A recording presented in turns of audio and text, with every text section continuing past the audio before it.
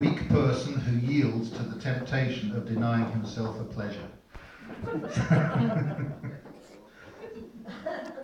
I'm not going to tell you the title of this one. I think you'll have guessed it by the time the poem's finished. You can talk of the finest clarets or the best of the Côtes du Rhône. Sing praise to the vines that produce the great wines such as Burgundy, Bordeaux, or Beaune. But when all's said and done, there is only the one that counts when the evening has come with need to unwind and relax the old mind. That's dark Caribbean rum. Hmm. There's merit in most of the scotches, and vodka is well worth a try. And no need to pass if you're offered a glass graced with gin or with bourbon or rye. But when someone asks for, for what's best from the casks and says they would like to have some, it's better than not that you pour them a tot of dark Caribbean rum.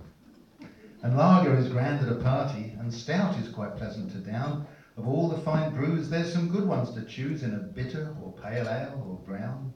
But should you need think of a versatile drink enjoyed both in mansion and slum, there's really no doubt what you're talking about. It's dark Caribbean rum. So as you try all that's been brewing and sample whatever's distilled, put each to the test so you'll know what is best for your palate to always be thrilled.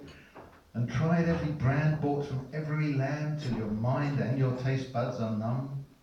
You'll honour the thirst with the one that came first. That's dark Caribbean rum. So pour from this flask if you're up to the task in measures the width of your thumb. And don't try to hold that glorious grog, but let's share a toast to the one we love most. The dark Caribbean rum. So if anybody wants to buy